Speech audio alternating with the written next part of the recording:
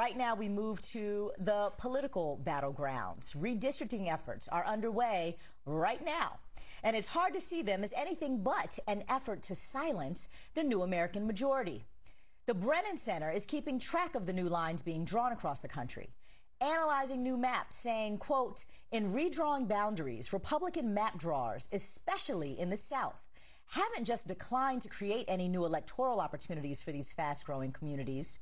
In many instances, they have dismantled existing districts where communities of color won power or were on the verge of doing so. This brazen attack is unprecedented in scale. And that's despite the majority of population growth coming from communities of color.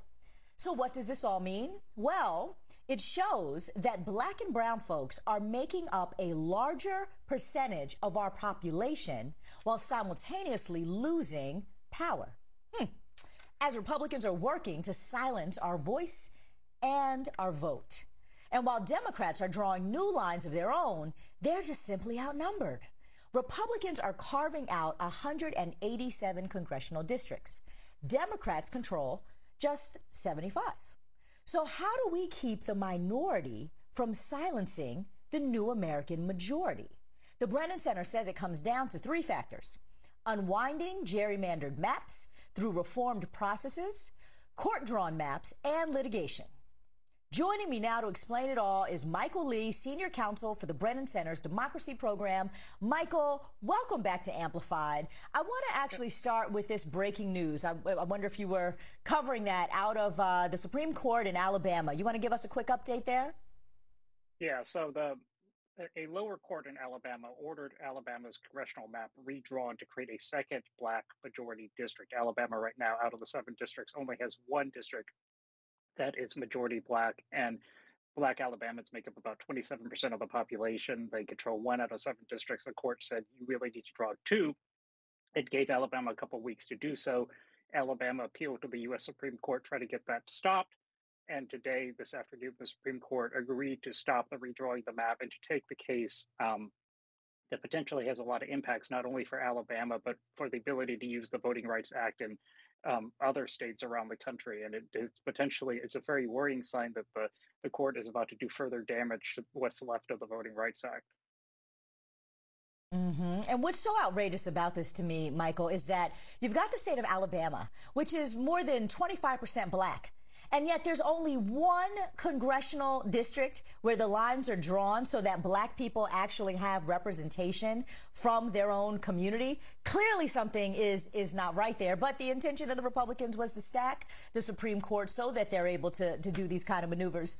I want to back up for a second, though. Can you um, give us a little bit of background here for those who aren't familiar with gerrymandering and redistricting? We know redistricting happens every 10 years after the census. Can you explain how the right uses the whole process as a tool to undermine political uh, power of communities of color? Yeah, I mean, so that's a great question. Um, you know, every 10 years we redraw maps, and the purpose is to make sure that the districts are equally populated and that you're complying with things like the Voting Rights Act. But what happens instead is people put their thumb on the scale. And the easiest way that you can put your thumb on the scale is to pack together or divide up communities of color in order to shore up white districts. In the South, that means white Republican districts. And so what is happening in, in Texas, for example, 95% of the population growth in Texas was non-white last decade. Texas creates no new opportunities for communities of color. Instead, it actually goes backwards. You know, there are naturally emerging, really competitive districts uh, where communities of color either broke through or are about to break through in the suburbs of Dallas and Houston, and they broke those up. They took out a large chunk of people of color and stuck them in another neighboring district, and then they backfilled those rural white voters to create a really safe um, white district. And and the result is, you know, before the redrawing the maps, there were 11 districts in Texas that Donald Trump won by 15 or more points. Now they're 21. And Republicans only have 24 seats in Texas. So 21 of the 24 seats are these super Trump, Trump plus 15 districts. And really, what you do is you end you you break up communities of color. The one district that uh, Republicans created for Democrats um, and the Texas map is a district in Austin that is 64% white. So white Democrats in Austin get a district, but people of color, you know, the growing Latino community, the black community, the Asian community get nothing. Instead, they actually go backwards because mm-hmm. people see mm-hmm. that they're about to take power and they, they try to push push back push back on that. Now, this is obviously something that happens every census, right? Every 10 years, you get into this political football back and forth of who's going to get to control the lines and who's going to try to set up their own majority in Congress. But what I found interesting about uh, the current redistricting uh, report that, that you guys published is that you say, quote, this appears to be one of the most abuse laden in U.S. history this time right now. And, and that's really important, I think, to put a fine point on where we are here in this moment isn't even um, customary and normal business as usual, despite the fact that this is always a competitive process. Can you say more about that? Yeah, I mean, there, there certainly are people around the country, and you, you see this line, and it's kind of pernicious about, oh, well, this redistricting cycle isn't turning out so bad for Democrats. It's okay, kind of, bound, you know, Democrats gerrymandered in New York, and that offsets Texas. But still, you know, Texas is a state, and I'll go back to Texas just for example. Like Democrats have 37% of the seats in Texas.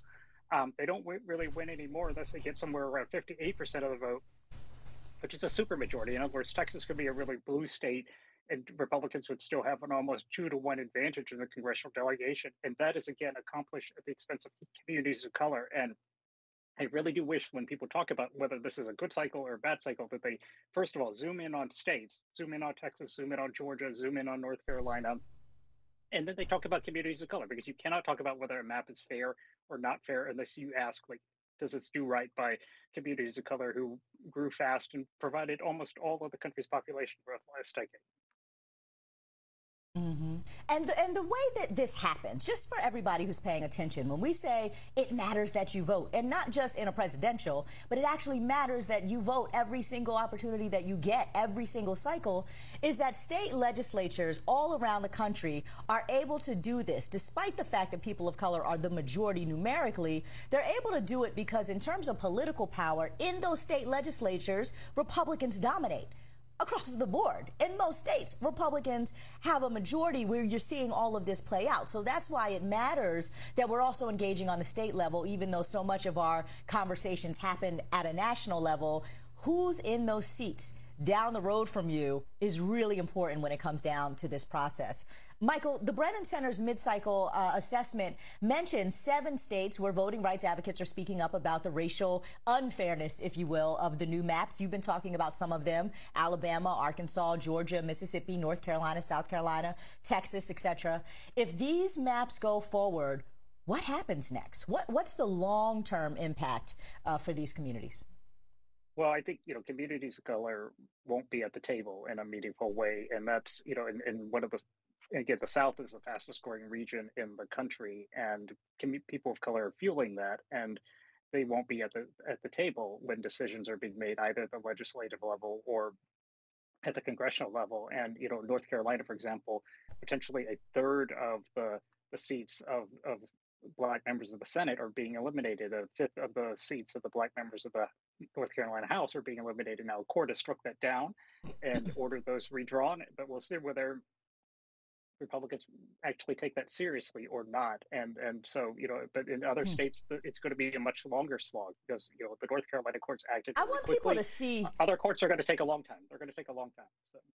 I, want people to see what you're talking about with North Carolina because this is really important. We have seen some crazy draw- lawn, uh, lines that have been drawn by Republicans, but this one in North Carolina, take a look at this map. I mean, this is just wild. The, the, like you said, the state Supreme Court struck them down, but you know, we what do you say when you see boundaries? For those who see this, look at the red these are the, these are how the districts are drawn. So look at that around Charlotte. You've got all of that red is the same district. Clearly, people aren't even geographically connected all throughout that district. How does this even happen? Like when you see this kind of uh, drawing, I mean, it looks like something that a five year old would do. Uh, can, yeah. What is your thought about that, Michael? They, when they're sitting around making up these crazy um, these crazy maps?